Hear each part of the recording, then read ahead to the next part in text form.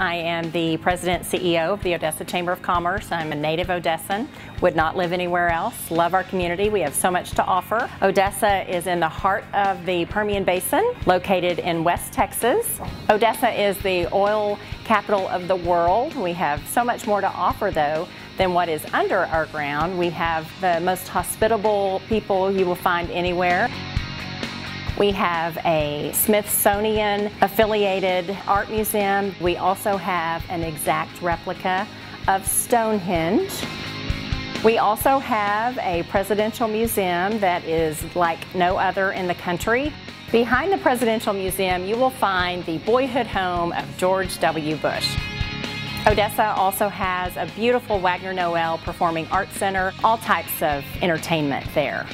We also have the Meteor Crater, which is quite unique. You can go out and visit the museum.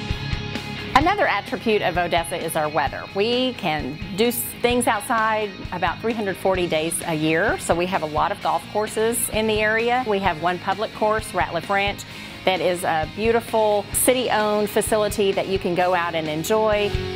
If you're looking for something for your family to enjoy, Sinergy is a wonderful entertainment complex.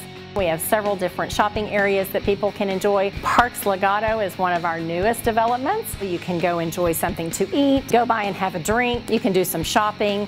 On the Odessa College campus, you can find the Globe Theater, a replica of that found in London.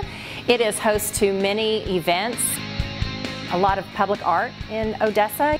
We also have our jackrabbits. Those can be found in different areas of town.